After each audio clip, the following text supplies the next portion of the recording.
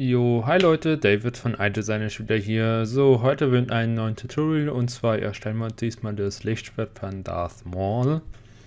Ähm, letztes Mal mit Ray haben wir es halt über Splines gemacht und heute machen wir das mal, also ohne, ganz normal mit äh, Objekten. Quasi, deswegen nehmen wir uns hier ähm, ein Bild. Ich habe einmal gegoogelt nach Maul Lightsaber oder sowas. Und das packen wir uns hier in die Rechtsansicht. So, und dann machen wir uns erstmal die Basis. Das ist so wie eigentlich überall auch. Äh, nehmen wir uns. Jetzt können wir uns aussuchen, was wir nehmen wollen. Nehmen wir am besten mal eine Röhre. Ich zeige euch euch warum. Könnt auch einen Zylinder nehmen, aber mit Röhre habt ihr halt ähm, schon so einen Ring drin. Quasi für das für die Klinge. Also deswegen. Ähm, dann wollen wir es natürlich noch auf die Seite kippen. Deswegen gehen wir hier auf eine P-Achse, Winkel auf 90 Grad. Und ziehen uns das einfach erstmal ein bisschen von der Höhe her. So. Ja, das sieht gut aus. Ähm, machen wir das allerdings ein bisschen kleiner. Und zwar, weil wir sehen, haben wir hier zwischen überall ein schwarzes, so schwarzes Zeug. Das heißt, es hat so eine Grundstruktur und obendrauf ist halt quasi nur die ganzen, ähm, ja, ich nenne sie mal Hüllen, die ganzen Abdeckungen. Deswegen ungefähr so. Können wir gucken. Ja. Ich meine, im Endeffekt muss es ja nicht passen. Einfach nur damit was irgendwie aus, damit es irgendwie nach was aussieht. Das ziehen wir uns einfach mal lang. Und zwar, wir müssen im Endeffekt, weil wie ihr seht, ist ja beide sehen ja identisch aus. Deswegen, wir können uns das gleich äh, kopieren. Deswegen machen wir hier nur eine Seite erstmal. Das heißt, wir ziehen uns das dementsprechend länger. Äh, ich meine, muss auch nicht unbedingt passen, das kann man ja etwas faken. Ich denke mal, so ist schon in Ordnung. So. Genau. Dann gucken wir erstmal. Genau, sehen wir hier diesen inneren Ring.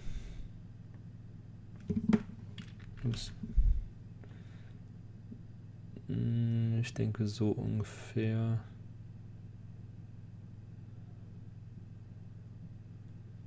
Ja, wie gesagt, können wir ändern. Dann können wir uns das eigentlich kopieren heißt strg, ähm, Quatsch, ja, strgc, strgv. Und ziehen wir uns das kleiner und fangen wir irgendwo an. Das heißt, äh, machen wir hier. Also machen wir den Part das heißt, die ganzen Spalten hier, die äh, machen wir separat. Wir können das natürlich auch extrudieren, aber wir haben halt zumindest, ich habe halt mehr Kontrolle, wenn ich das einzeln modelliere alles. Deswegen machen wir uns das so ungefähr. Das sieht schon mal, ja, sieht mal gut aus. Das wollen wir natürlich ein bisschen skalieren. Nicht so viel, aber ich denke, das ist in Ordnung so. Vielleicht ein bisschen mehr. Ja. Schon in Ordnung. Äh, genau. Dann kopieren wir uns das wieder. Obwohl, was wir erstmal machen, damit es alles nicht so eckig sieht, aussieht, wenn ihr das reinzoomt, haben wir halt natürlich wenige Segmente. Das heißt, wir ziehen jetzt überall erstmal die Segmente, machen wir ein bisschen höher. Keine Ahnung, 50, gucken wir mal, oh Quatsch, nicht die Höhe, sondern Umfang. Machen wir mal 50. Ne, machen wir mal 100. Und dann hier natürlich auch. Umfang bis 100. So. Dann nehmen wir uns die erste Röhre und kopieren die nochmal. Also erst geht C und V. Dann gehen wir weiter.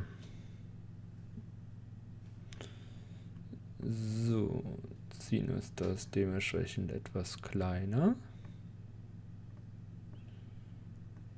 So dürfte das okay sein. Ah ja, genau. Eine Sache können wir auch noch machen. Wenn ihr jetzt sehen könnt, das ist natürlich alles sehr hart abge... Also hat keine Rundungen drin. Deswegen machen wir das natürlich noch alles. Das heißt, wir gehen hier auf Objekte, Rundungen und machen wir mal ja, nee, 1 ist so viel, schon 0,5 ja, 0,5 ist okay. Und hier auch Rundungen. 0,5 können wir später eh nochmal ändern dann nehmen wir uns die zweite Röhre kopieren die uns und setzen die hier rein. Dann kopieren wir uns das wieder, machen das Ganze hier auch ein bisschen kleiner. Kopieren wir nochmal. Nochmal kopieren. Nochmal kopieren. Voilà. Und Ähm, jetzt sehe ich aber gerade, das ist nämlich ein bisschen höher. Die Ringe, das heißt, wir selektieren es alle, also STRG gedrückt halten und dann alle aus, äh, auswählen. Und die können wir ein bisschen höher. Ja, ein bisschen, ja, so, ist, so sollte okay sein können wir uns die einzelnen natürlich nochmal auswählen und ziehen die ein bisschen gerade. So. So ist okay. Und das ist auch okay. So, dann nehmen wir uns wieder die erste Röhre, also nicht die erste, sondern halt die zweite. Dann kopieren wir wieder und ziehen es rüber und haben das hier. Das passt schon mal gut. Dann machen wir dasselbe, kopieren und ziehen uns das einfach ein bisschen länger nochmal. So, haben wir das soweit. So, jetzt nochmal kopieren. Gleich kommt der spannende Teil. Und zwar ziehen wir uns das wieder klein. Ich denke, so ist okay. Und so. Jetzt kommt es. Also wir machen erst die untere Seite, das heißt, wir kopieren uns das nochmal und machen hier das. Und dann kopieren wir uns das wieder, machen das hier. So, jetzt können wir uns das auswählen, äh, wie wir das machen. Doch, wir kopieren das, das mal und machen die Ringe auch hier als Röhre.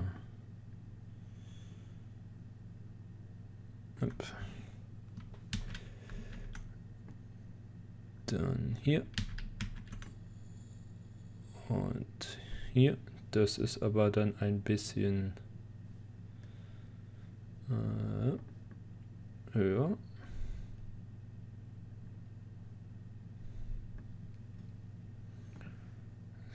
So, dann kopieren wir das. Kopieren wir das. Und jetzt können wir das machen, wie wir wollen. Ähm, machen wir ja das auch als Röhre. kopieren wir das. Und hier wird es dementsprechend ein bisschen skaliert.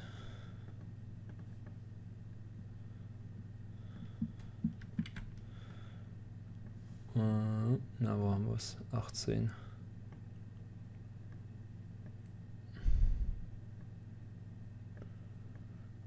Und ja, sollte passend sein.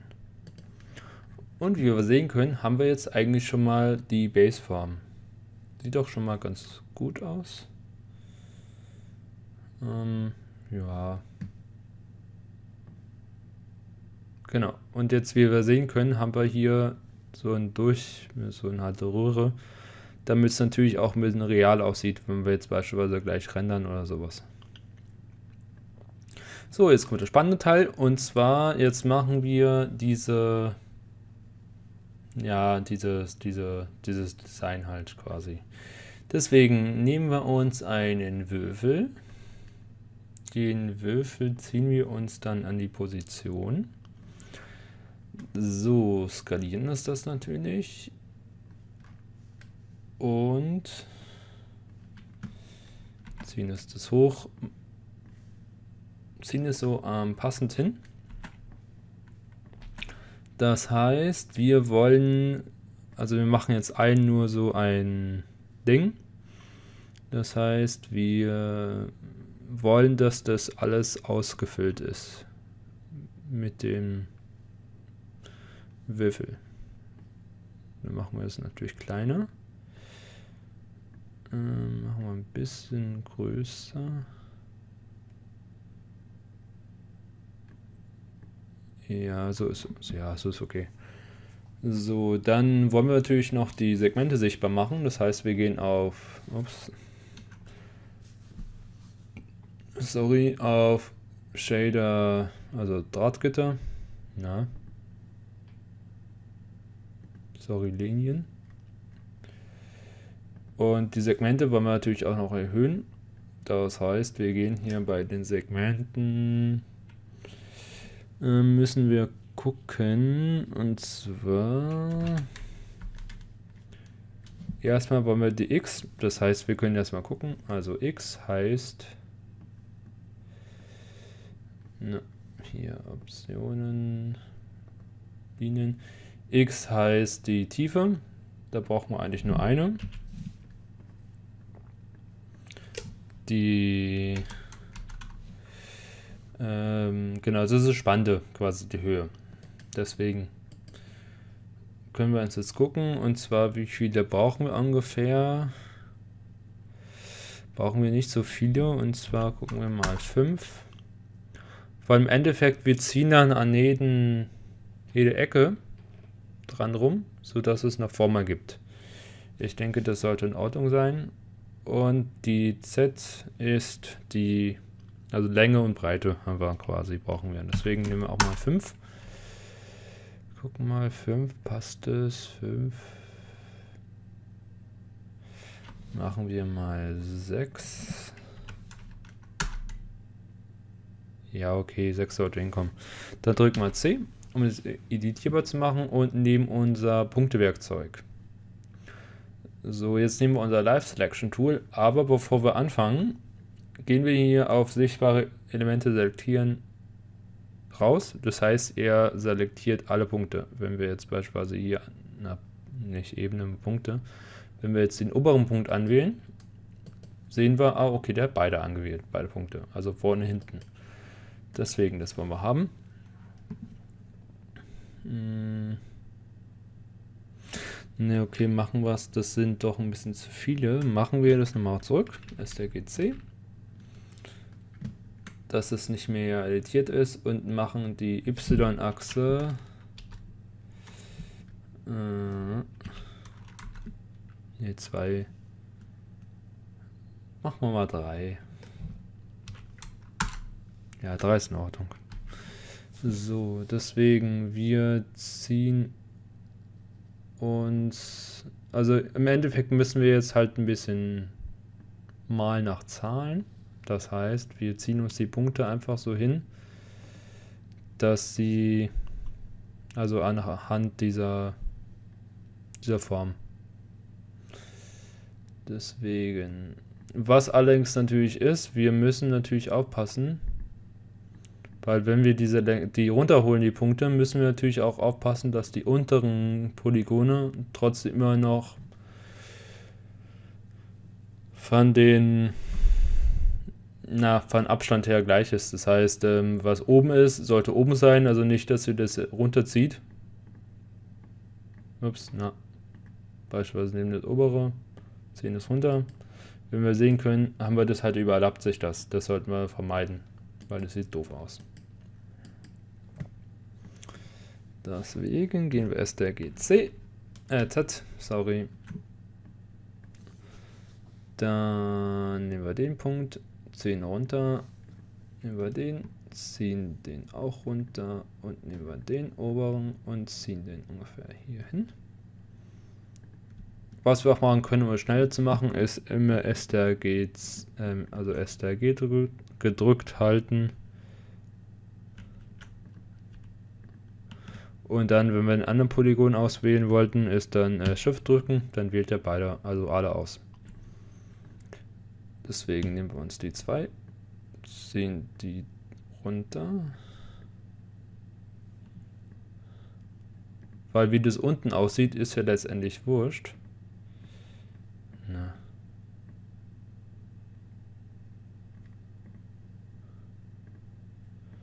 Weil unten interessiert ja keine Sau.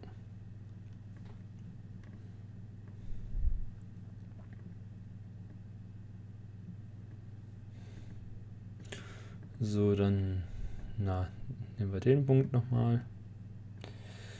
Ist manchmal ein bisschen Fummelarbeit, aber machbar.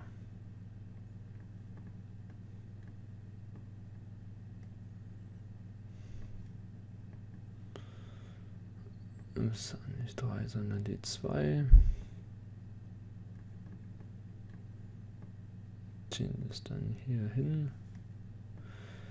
Und das da ziehen wir hier hin. Na.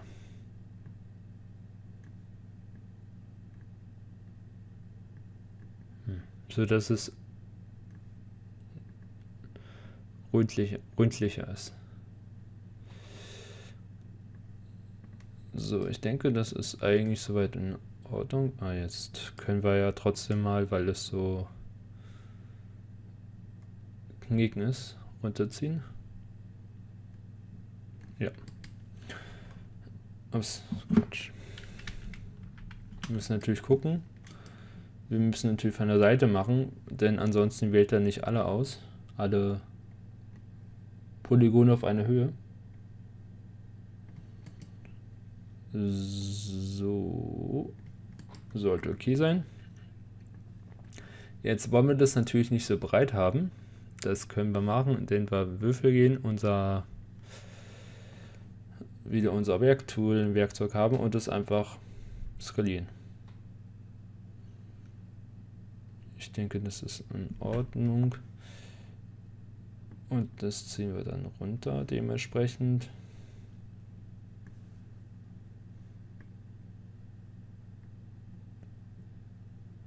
Ja, so sieht doch eigentlich gut aus. Was wir halt gucken können, wir können das mal in einen Hairpanner packen, wie das aussieht.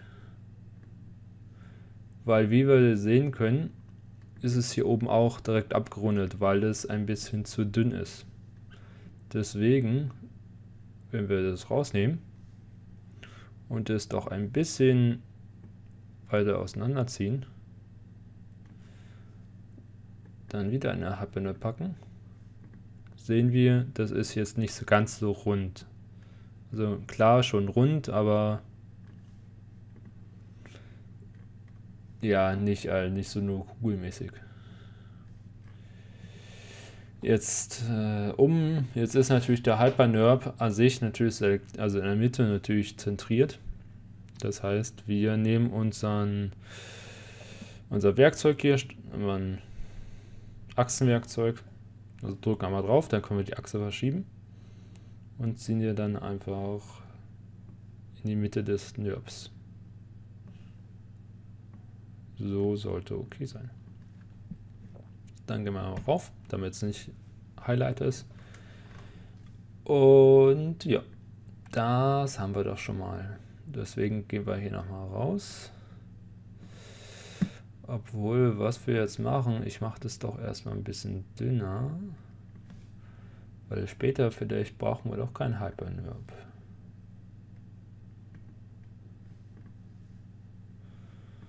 Hm. Hm, hm, hm,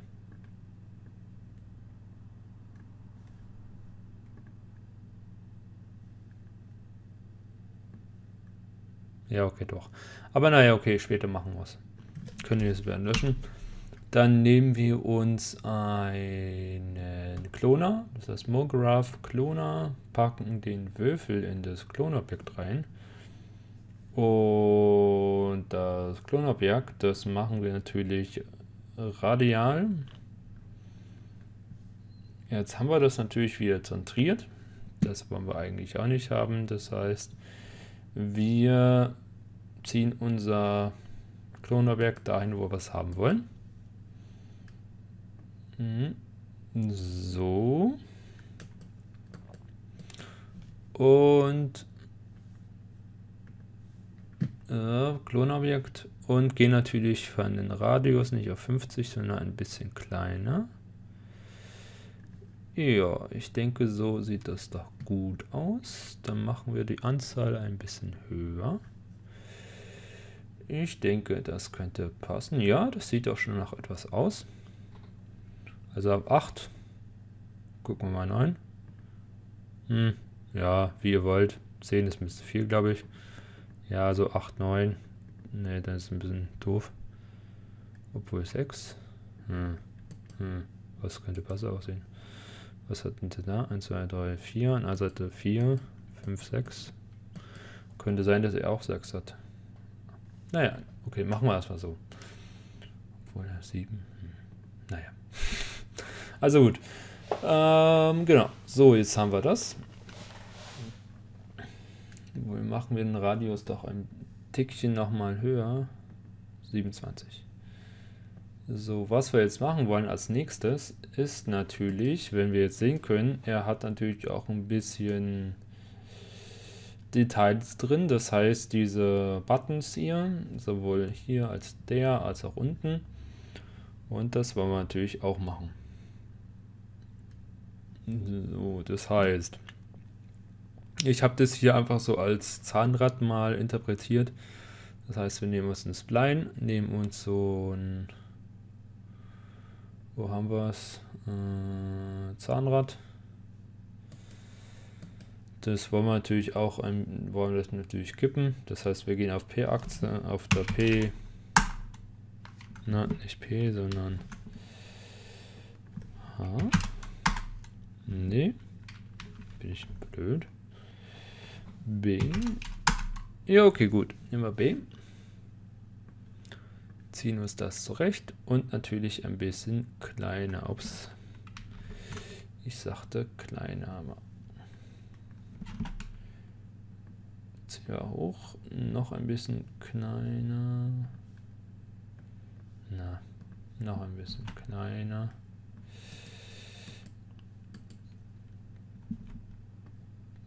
damit es doch ungefähr gut sieht man. Ja, okay, ungefähr passt. Hier sehen wir die weiße Linie.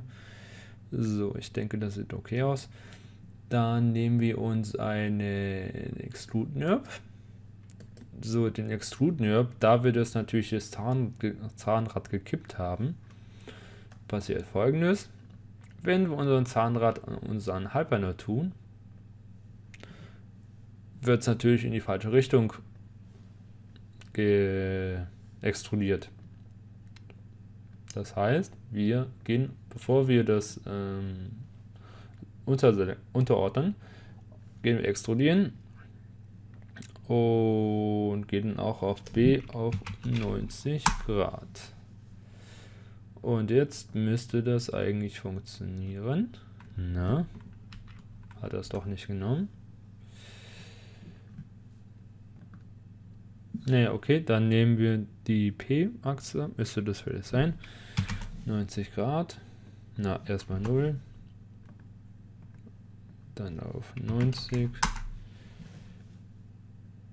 Und Klappt super, perfekt. So, dann ziehen wir das natürlich ein bisschen tiefer, damit es ungefähr auch passt. Das heißt, wir können jetzt beim Extrudieren, also wenn wir raufklicken, natürlich hier Verschiebungen natürlich festlegen, wie tief das sein soll. Das heißt,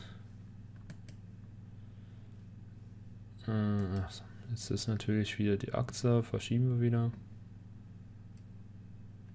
So. Also das heißt natürlich, äh, dass wir das nur ungefähr machen. Deswegen so liegt es auf jetzt. Deswegen verschieben das. Ups, na, studieren.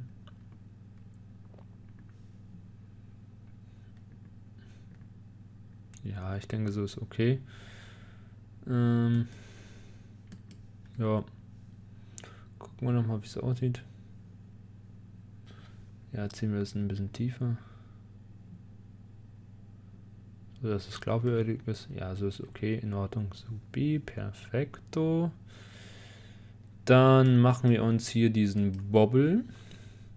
Das heißt, wir nehmen uns einfach, habe ich ganz normal Zylinder genommen, den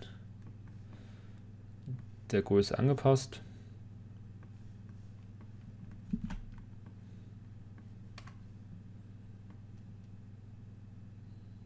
Ungefähr so.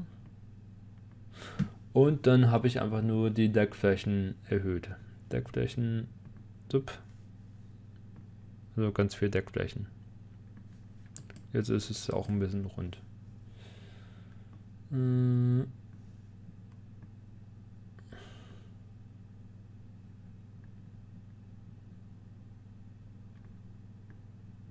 Ja. Genau. So, jetzt ist folgendes noch unten. Das machen wir auch ganz einfach und zwar indem wir einfach per Splines arbeiten. Das heißt, ich habe hier unseren Kreisspline. Den wollen wir natürlich auch ein bisschen drehen. Na.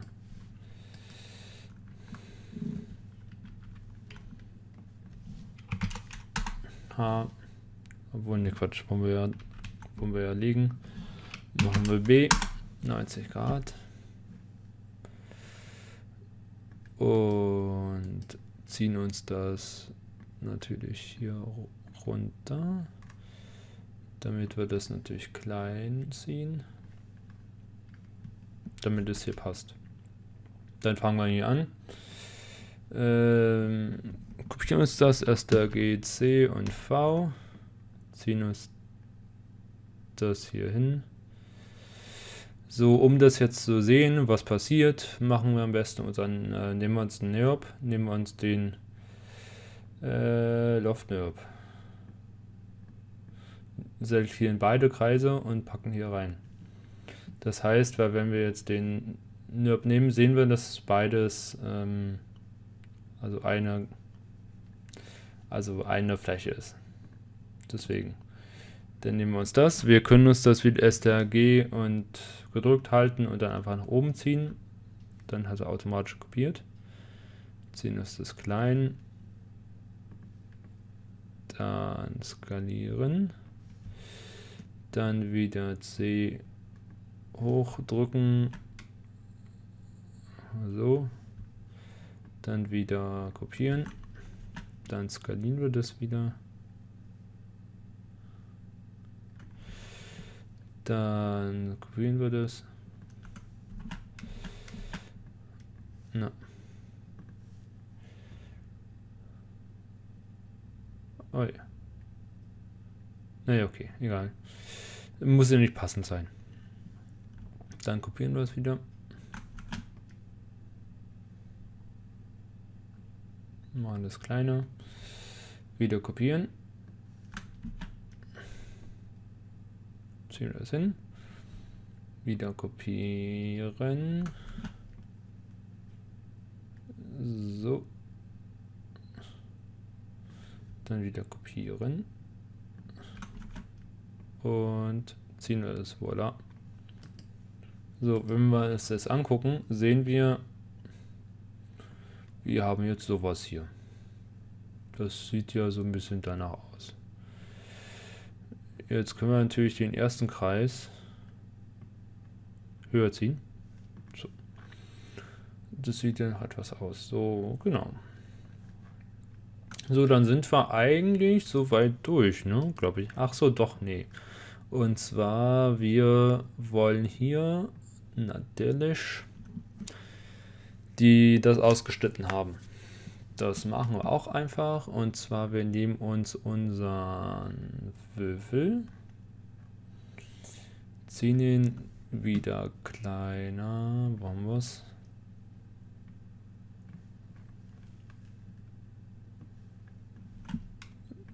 Dann etwas passend.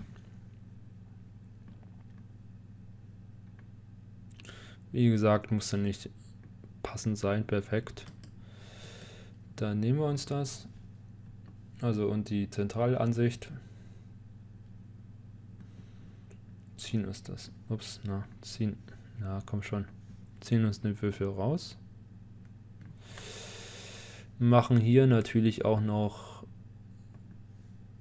Deckflächen rein.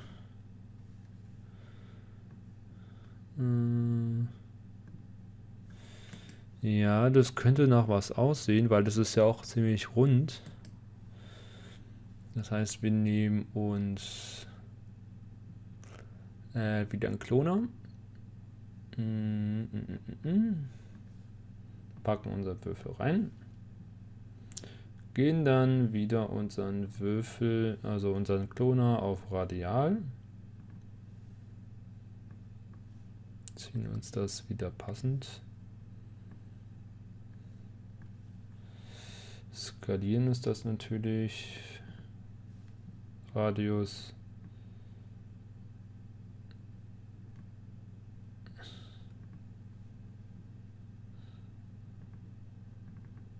Ja.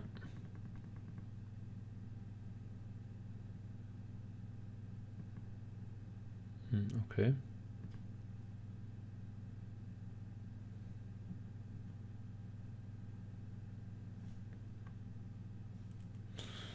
Ja, okay. Radius. Dann müssen wir die Wölfelchen. Ziehen wir erstmal raus nochmal. Na, wo haben wir? Achso, ja.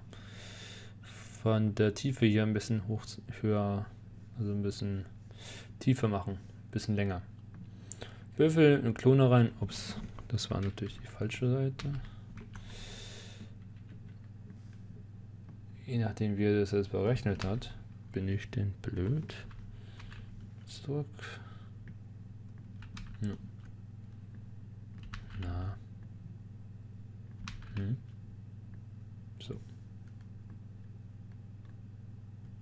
Ja, okay.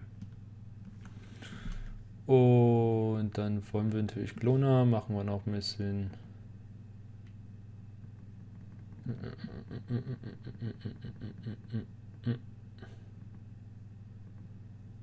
ja. Okay. Dann können wir den Ra ähm, Quatsch, den, die Anzahl erhöhen, wenn wir wollen. Deswegen gucken wir mal.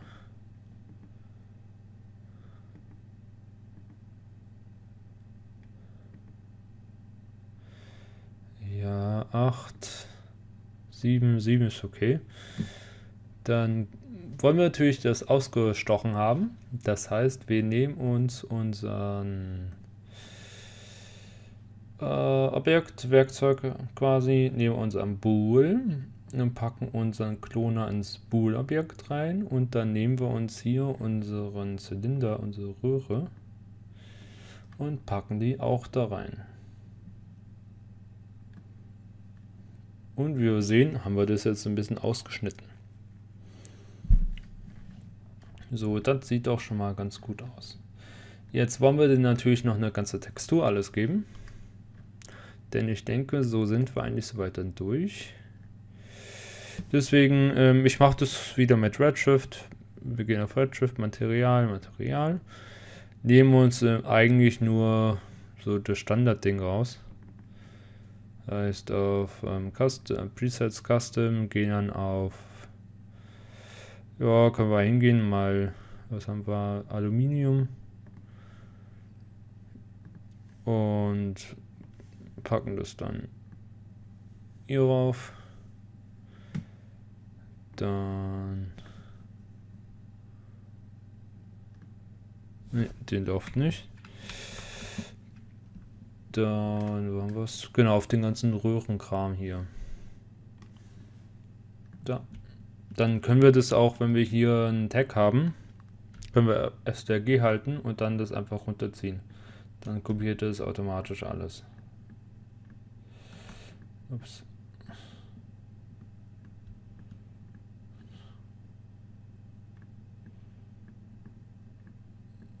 So. Und jetzt sind wir... Achso, nee, unten natürlich nicht. Deswegen... Hier ist natürlich... Ähm, erzeugen Redshift Material Material und dann hier natürlich schwarz. Einfach ein schwarz. Obwohl... Äh, äh, äh, äh, Quatsch, kein Backlight. Ähm, ne, Quatsch, keine... Na, okay. Gucken wir mal, wie es aussieht. Das Schwarz packen wir dann hier auf unseren Untergrund. Und dann hier auf unseren Cloner natürlich auch noch unser Silber. So, ich denke, das ist schon mal ganz in Ordnung. Dann haben wir hier. Äh, genau, jetzt ist die Frage, da können wir gleich mal gucken, welche Farbe wir dann nehmen. Ja, okay. So, jetzt haben wir und dann, genau, nehmen wir das hier noch. Dann nehmen wir dann ein Redshift Und hm, ja. Nehmen wir einfach ein Rot.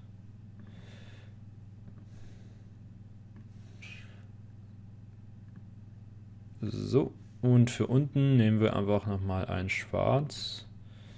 Nehmen wir das hier, packen es hier auf den Loft drauf. So, dann sollte eigentlich alles soweit eine Textur haben. Können wir mal rendern.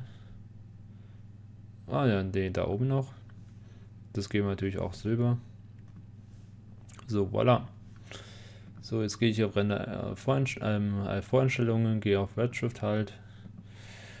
Und was wir jetzt machen, wir gehen jetzt, um das Ganze so, ähm, auszuwählen, gehen wir hier unsere, unsere ja, Menü quasi irgendwo hindrücken. STRGA, dann selektiert alles und Alt G. Das nennen wir jetzt mal, obwohl, nee, das nehmen wir erstmal nicht. Das kopieren wir uns jetzt, C und V. Und dann drehen wir das alles auf um 180 Grad. Also bei der P-Achse um 180 Grad. Und dann ziehen wir das. Ah, nicht nur auf 180 Grad, sondern obwohl gehen wir auf 180. Nee. Okay, also gehen wir auf die auf P180, B180. Dann ziehen wir uns das ein bisschen raus.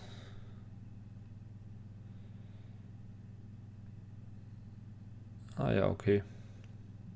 Also machen wir das ungefähr hier, weil, wenn wir sehen können, haben wir hier natürlich auch ein bisschen Spalt frei.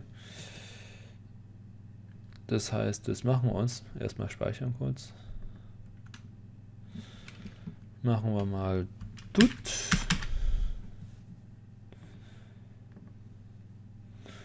Deswegen nehmen wir uns hier nochmal unsere Röhre. und ziehen die doch mal ein bisschen länger. Na, nicht größer, sondern na, länger.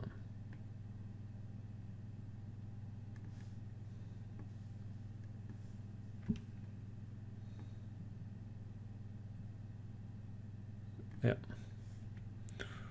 Nehmen wir uns doch unser Schwert 1. Ziehen ist das ein bisschen kleiner. Ja, so sollte das nach irgendwas aussehen. So ist es okay. Jetzt selektieren wir alles wieder. Wieder Alt G und dann nehmen wir das Lichtschwert. Lichtschwert. Und jetzt machen wir uns ein Lightroom. Also ich mache mal nicht wieder dasselbe wie immer, sondern mal was anderes. Und zwar wir nehmen uns einfach nur einen Background, das nennen, nennen wir einen Boden, also eine Ebene. Ziehen wir uns einfach mal ganz, ganz, ganz, ganz, ganz, ganz, ganz, ganz groß. Und wir wollen, dass es ein bisschen schwebend ist quasi. So. Suchen uns eine gute Position aus. Nehmen wir unser Schwert mal. Drehen uns das. Weil wenn wir jetzt sehen können, auch durch die ganzen Röhrenaktionen haben wir hier natürlich auch einen kleinen Austritt. Das heißt, ähm, ja, falls halt eine Klinge reinkommt oder so. So zum Zeichen der Realität. So, dann machen wir das auch schwarz erzeugen. Redshift, Redshift, Material schwarz. Äh, ne, Quatsch. Schwarz. So, und jetzt wollen wir natürlich. Braucht man natürlich noch Licht. Das machen wir, indem wir Redshift anwählen, Lights, Dome Light. Und bei Dome Light nehmen wir uns einfach irgendein HDMI-Image. Deswegen habe ich hier bei meinem Presets schon welche. Könnt halt einfach danach googeln, gibt es ganz viele Dinge online. Eigenmaterial, HDRIs. Äh, ich suche mal eine bestimmte raus, die, war, die ich hatte.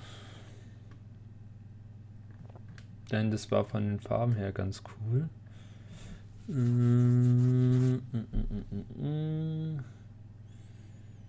Ich glaube, das war das sogar. Cool. Denn jetzt können wir das Ganze einfach mal spaßeshalber rendern und gucken, wie es ausschaut. Ah ja, okay. Naja gut, die Lichteinwirkung ist schon mal ganz gut. Nur natürlich, jetzt reflektiert es natürlich alles auf die auf den Boden. Das wollen wir natürlich nicht haben, deswegen wir gehen hier auf unser Material. Damit es einfach nur ein bisschen verwischt wird, machen wir einfach ganz einfach. Und zwar wir gehen auf unsere Roughness, machen die einfach ziemlich hoch. Und jetzt gucken wir nochmal wie es ausschaut.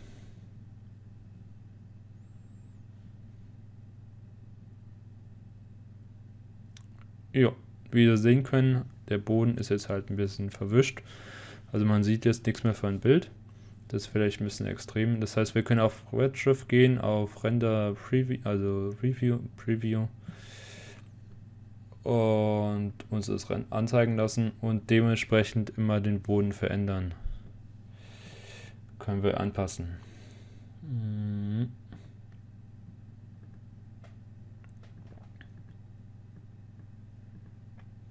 Ja, sowas, so zum Beispiel. Äh, jetzt können wir natürlich auch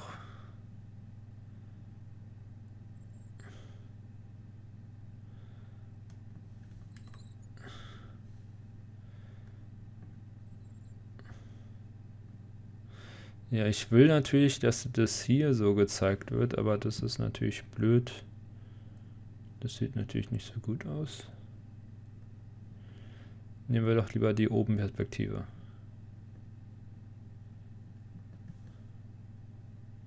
Denke, es ist okay. Was wir natürlich machen können, ist beispielsweise hier, es ist natürlich ein bisschen zu shiny. Können wir natürlich unser Downlight nehmen. Oder wir nehmen einfach anderes. Wir können unser Samples bisschen verändern. Beziehungsweise die ja, können halt ein bisschen rumspielen bewerten hier. Aber was wir machen können, ich würde es einfach mal wechseln. Das Bild, was nicht so hell ist. Machen wir mal, gucken wir mal. Ja, okay. Also wie gesagt, ihr könnt euch jetzt... Ah, das sieht nicht schlecht aus. Ja, aber... Okay. Also wie gesagt, ihr könnt euch ja ganz viel mal aussuchen. Ihr könnt, habt ja nicht dieselben Images wie ich. Also guckt mal im Internet einfach, was ihr findet. Und dann spielt damit einfach. Ähm, ja, weil im Endeffekt das Modell ist dasselbe. Deswegen würde ich sagen, machen wir Schluss hier. Wenn es euch ein bisschen gefallen hat, könnt ihr mich gerne abonnieren. Ähm, könnt auch gerne meine anderen Videos mal gucken. Hier verlinke ich euch nochmal mein letztes Tutorial für Rays Schwert zu machen, Rays Lichtschwert aus dem neuen Star Wars Film. Und ansonsten, wie gesagt, ähm, ja, teilt gerne meine Videos, wenn ihr wollt. Äh, Würde mich echt freuen, wenn mich dementsprechend abonniert, wenn ihr meine Videos gefallen. Und ansonsten würde ich sagen, haut rein, bis zum nächsten Mal. Ciao.